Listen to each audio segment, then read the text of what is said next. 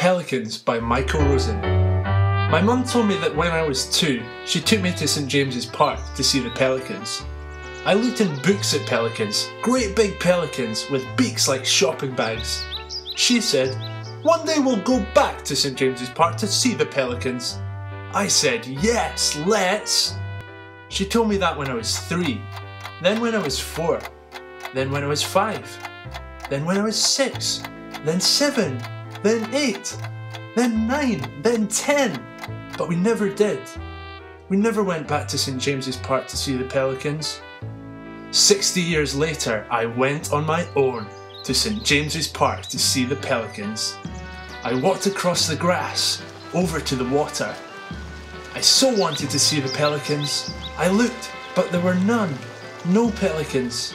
So I walked along by the side of the water and I thought of being two years old and my mother being 30 years old and how I must have looked at the pelicans. And I carried on walking. I walked over a little bridge and I looked across the water and there was a pelican and another and another.